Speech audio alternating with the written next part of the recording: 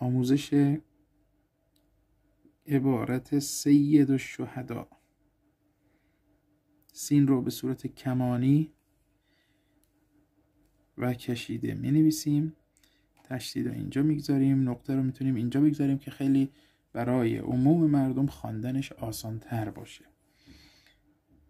چون اینجا هم بگذارید اشکال نداره. ولی خب حالا برای که ملاحظه حال مخاطبین بکنید این الف رو می‌برید بالا که شیبدار بشه نسبت به ل توی کلمه شهدا ل شهدا اش شهدا. خب حالا دقت کنید.